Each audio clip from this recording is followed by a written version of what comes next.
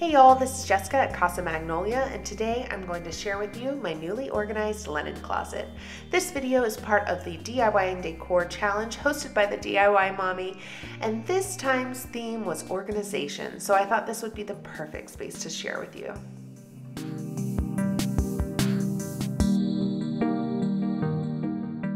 The top shelf is perfect for the humidifier since we don't use it all year long.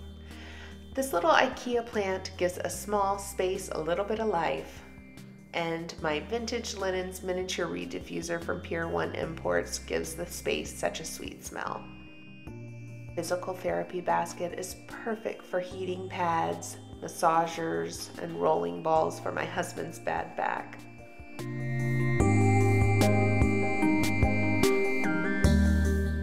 Magazine holders are perfect for my rubbing alcohol and hydrogen peroxide that I buy in bulk from Costco, but I've also used them before to corral sheet sets.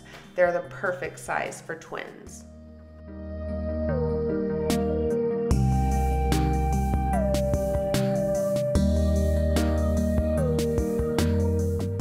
Next shelf houses our medicine cabinet. These plastic bins were purchased many years ago from Target, and I just used some scrapbook paper to keep down on the visual clutter.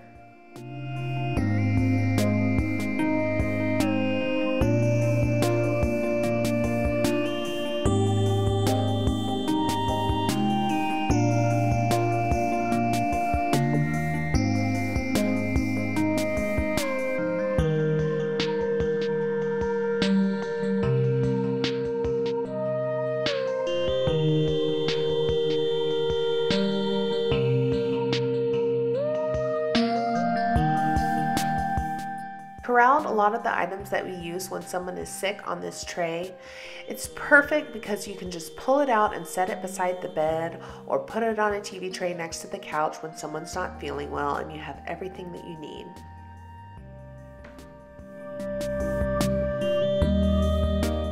I like to keep a separate box of tissues because it would be my luck that I would get sick right when I had ran out of tissues.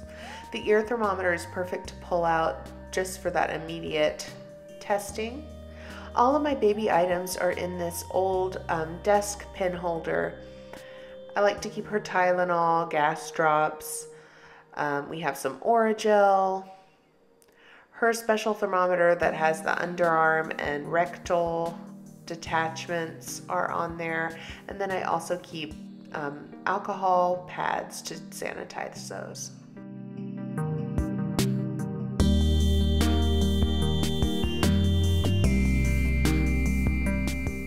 I like to keep a steno pad and pen on hand just to record temperatures and times that medications were given.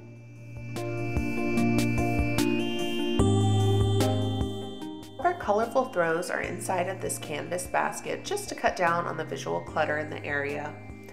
I purchased these baskets a long time ago from, I believe, Target, and I really love that they have labels on the skinny side and the wider side because I've used them in different areas and needed to have them labeled different ways, so that's been wonderful.